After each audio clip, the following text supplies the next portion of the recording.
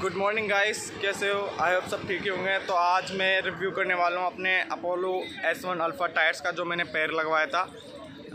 Two weeks सम मतलब कि two weeks पहले तो मैं इनका रिव्यू देने वाला हूँ कि ये वर्थ इट है नहीं है, और आपको लगाना चाहिए, नहीं लगाना चाहिए।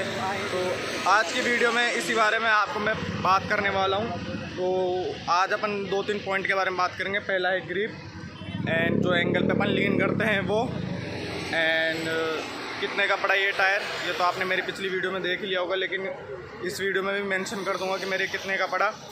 तो फ़र्स्ट ऑफ़ ऑल पहले अपन बात करते हैं ग्रिप की।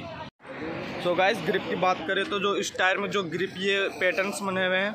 ग्रिप तो बहुत ही शानदार है, और जो मैंने टायर लगवाया है 140 सेक्शन का लगवाया है रेडियल लगवाया है, जो कि आर जो अपनी गाड़ी के साथ 130 सेक्शन का देती है, और नॉन रेडियल देती है।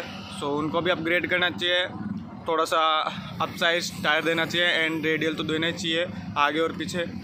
तो जो ग्रिप की बात करें तो ग्रिप तो बहुत ही शानदार है। मैंने इसको लीन वगैरह करा, आपने मेरी पिछली वीडियो में देखा होगा शॉर्ट्स वगैरह में देखा होगा। मतलब कि कॉन्फिडेंस में कोई भी कमी नहीं है। कॉन्फिडेंस बहुत ही शानदार आता है इस टायर के साथ और और जो ब्रेकिंग स्टॉपिंग पावर है, वो भी बहुत ही तगड़ी है। मतलब जैसे आप ब्रेक टैप करोगे, जो बाइट तो आती है जो ब्रेकिंग सिस्टम इस पर भी डिपेंड करता है बट टायर पे भी डिपेंड करता है कि इसके सरफेस के साथ कैसा ग्रिप है। अगर सरफेस के साथ जितना अच्छा ग्रिप होगा, उतनी अच्छी आपकी व्हीली उठेगी। अदरवाइज़ आपका बाइक का जो टायर है, थोड़ा सा भी स्किड हुआ सरफेस के साथ तो आपकी व्हीली नहीं हो पाएगी और या फिर थोड़ी सी व्हीली उठेगी। लेकिन इससे मेरी गाड़ी पे मैंने व्हीली भी करी है, आपने देखा होगा। सो ओवरऑल परफॉर्मेंस बहुत ही ज़्यादा अच्छा मेरे को लगा। और जो प्राइसिंग की बात करूँ सो ये टायर मुझे पड़ा है पैंतीस सौ का। और ये जो आप मार्केट में लेने जाओगे, इसका प्राइस मेरे को नहीं पता। मतलब कि ऑनलाइन का नहीं पता, मैंने ऑफलाइन लगवाया जाके। क्योंकि ऑनलाइन मैंने सुना है कि भाई लोकल वगैरह टायर्स मतलब कि डुप्लीकेट वगैरह देते तो मेरे को थोड़ा सा ट्रस्ट इशू था। सो मैंने ये लगवाना सही समझा कि भाई स्टोर पे जाके लगवा लेते मैंने स्टोर पे जाके लगवाया। एंड अब फ्रंट टायर्स की बात करें तो ये भी अपोलो का एस वन ही है। मैंने हंड्रेड हंड्रेड सेक्शन का लगवाया है वही पुराना साइज़ वाला ही। एंड ये नॉन रेडियल रेडियल लगवाने जाता तो बहुत ही ज़्यादा महँगा था पैंतालीस सौ का सो गाइस इसका परफॉर्मेंस बहुत अच्छा है। आ, मेरे बजट के कारण मैंने ये लगवाया नहीं तो मैं वन टेन लगवाने वाला था। बट इसका परफॉर्मेंस भी बहुत अच्छा ब्रेकिंग भी बहुत शानदार है।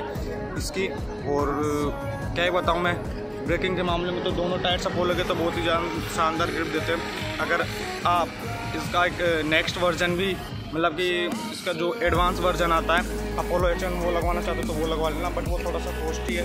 बट उसमें जो पैटर्न्स रहते हैं ना बने हुए टायर में, मैं आपको डिस्प्ले पे फ़ोटो दिख रही होगी, जो पैटर्न्स बने होते हैं, वो मेरे को बहुत ही शानदार लगता है। ये थोड़े से आउटडेटेड लगता है बट इनकी ग्रिप्स बहुत शानदार है।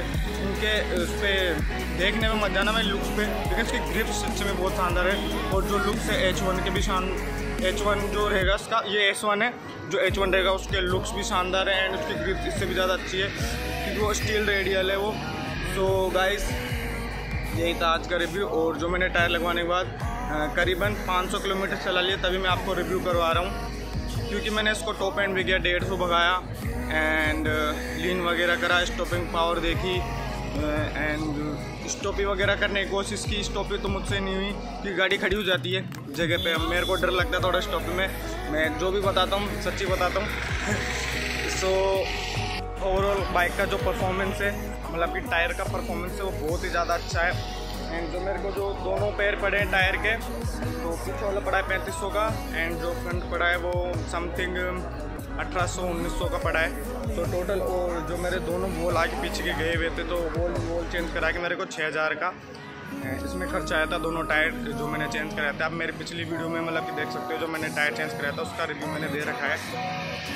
तो गैस कैसा लगा रिव्यू अगर पसंद आया हो तो वीडियो को लाइक कर देना चैनल को सब्सक्राइब कर देना एंड ऐसे ही अपने चैनल पे बने रहो। तो मिलते हैं नेक्स्ट वीडियो में। तब तक के लिए bye bye and ride safe करो मेरा वही कहना है दोबारा से। सेफ्टी ज़रूरी है। तो सेफ्टी ज़रूरी इसलिए मैंने टायर चेंज करा लिए। क्योंकि ब्रेकिंग अच्छी होनी ही चाहिए एंड ग्रिप अच्छी होनी चाहिए। तो bye bye and have a nice day so guys इस वीडियो में एक और पार्ट जोड़ना चाहता हूँ। भगवान भी चाहता है कि आपको पूरी इन्फॉर्मेशन मिले। मैं अभी अभी जस्ट बारिश आया हूँ जैसे कि आप बाहर मौसम देख सकते हो तो बारिश बारिश हो रहा है। सो so, जो बारिश में भी जो टायर का जो रहता है इसका टायर्स की परफॉर्मेंस वो बहुत ही शानदार, ज़्यादा भी गीली हो रखी है टायर। तो मतलब कि परफॉर्मेंस बहुत ही शानदार ब्रेकिंग बहुत ही शानदार एंड ग्रिप भी मतलब कि बहुत ही सही है। सो बस ये ऐड करना चाहता हूँ ताकि अब आपको कुछ रह नहीं गया। मैंने बता दिया कि स्टॉपिंग पावर कैसी है और ब्रेकिंग बता दिया, बारिश में बता दिया एंड व्हीली वगैरह हो जाती है। मैंने आपको सब कुछ इन्फॉर्मेशन दे दी। तो अब कुछ बाकी नहीं रह गया बताने को। तो गैस अब रियल में वीडियो को एंड करते हैं। Do